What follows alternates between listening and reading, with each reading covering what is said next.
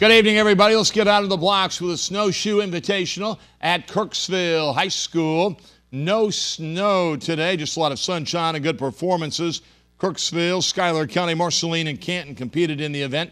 Scoring in the field events were based on total team score, and in the running portion of the meet, all the events were relays. In college football, it's day two of spring football practice at Truman State.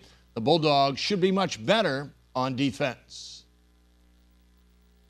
You know, just the safety position with Mike Elliott, who was a unanimous first team all conference player two years ago, and we we kept him out with. Uh, uh, he had a sports hernia that, that we redshirted him last year as a senior. And then Trey Millender, who was an honorable mention all conference two years ago, who displaced a lunate bone in his wrist. We got a medical hardship.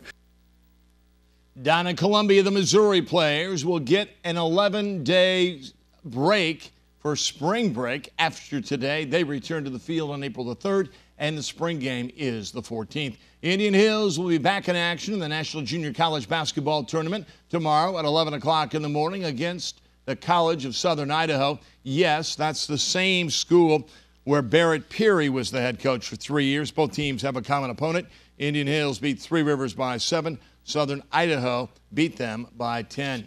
Staying on the court, you can watch the NCAA basketball games on CBS 3.2 tonight, Friday, and over the weekend.